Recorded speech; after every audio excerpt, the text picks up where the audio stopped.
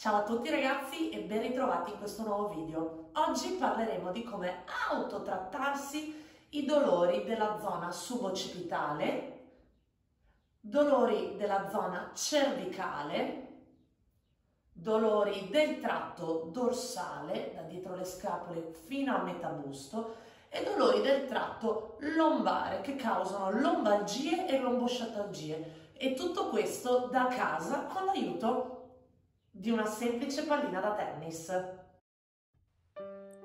Oggi andiamo a vedere come risolvere quei forti dolori che ci partono da dietro la testa e arrivano fino alla zona frontale che chiamiamo emicrane con la pallina da tennis. Prima cosa da fare, individuo dove posizionare la mia pallina, quindi con una mano applico due dita, il medio e l'indice, sull'attaccatura dei capelli dietro l'orecchio, con l'altra mi aiuto a posizionare la pallina. Mi giro e vado ad appoggiare la zona lombare soprattutto contro il muro. Con i piedi aiuterò a spingere e quindi con il gomito aperto giù il mento, alzo la nuca e ogni volta che metto l'aria, butto fuori, vado a esercitare delle piccole pressioni contro il muro. Quindi butto fuori l'aria e schiaccio Inspiro lentamente, rilasso le spalle, butto fuori l'aria, schiaccio bene e ancora una volta fuori. Stessa cosa la ripeto dall'altra parte, quindi con due dita vado a prendere la parte dell'attaccatura dei capelli, con la mano tengo ferma la pallina in modo che non scivoli, fermo il mento verso il basso e alzo la nuca, quindi tre respiri giù le spalle, spingo forte anche con i piedi, due e schiaccio contro il muro, faccio un bel respiro, fuori l'aria. 3. Ricordo di respirare con la pancia schiacciando tutta la schiena contro il muro. Molto meglio. Molto bene. Andiamo invece a vedere cosa fare per il torcicollo o la pesantezza delle spalle e delle braccia. Con la parte bassa del palmo della mano l'appoggiamo sulla parte alta superiore della clavicola, l'ossicino vicino al collo. La parte restante delle dita che si appoggia sul muscolo trapezio invece sarà il punto d'ancoraggio della nostra pallina da tennis. Quindi teniamo con le dita ferma lì la pallina e ci distendiamo a terra, cercando di fermarla con tutto il peso delle nostre spalle. Da qui fuori l'aria in retroversione, quindi schiacciando la zona lombare contro il pavimento per tre volte.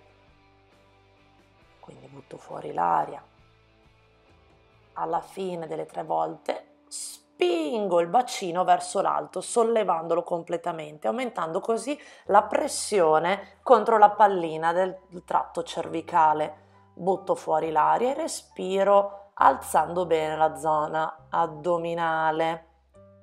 Faccio tre respiri, mi appoggio, sollevo un braccio ed eseguo tre cerchi prima da una parte, sempre buttando fuori l'aria 2, faccio un bel respiro, fuori l'aria, 3 e cambio giro dall'altra, 1, inspiro, 2, fuori l'aria, 3, molto bene, tolgo la pallina, mi giro sempre con l'aiuto delle braccia per sollevarmi ed eseguo la stessa identica manovra dall'altra parte, quindi palmo della mano, appoggio la parte più bassa sopra la mia clavicola, le dita restanti che stanno dietro sulla zona che mi duole le tengo per appoggiare la pallina e da qui tenendo la pallina in posizione scendo giù a terra caricando tutto il peso del corpo.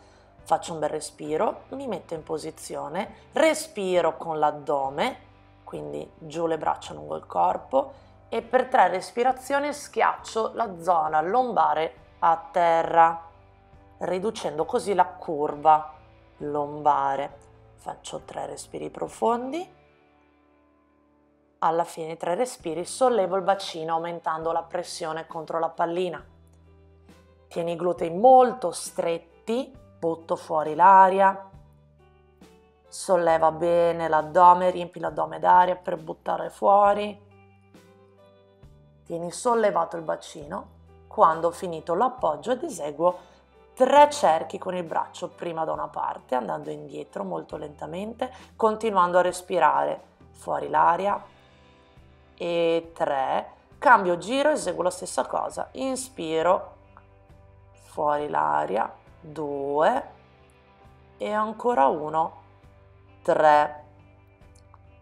Ok, appoggio bene a terra, faccio un bel respiro, tolgo la pallina, con le braccia mi aiuto a sollevarmi e ciao ciao dolore cervicale. Adesso andiamo a individuare invece quella che è una zona di dolore particolare, ossia la zona dietro le scapole, che spesso scende con forti fitte fino a metà busto. Quindi, con la pallina, se non riesco ad arrivare con una mano lateralmente, vado da sopra. Quindi individuo il lato della scapola, appoggio la pallina e da questo punto, tenendo la pallina ferma, quindi con il braccio verso l'alto, scendo giù a terra, fletto entrambe le gambe, sollevo il bacino e tengo alte le braccia verso l'alto e provo a scivolare utilizzando il lato della scapola come se fosse un binario, avanti e indietro per tre volte, molto lentamente.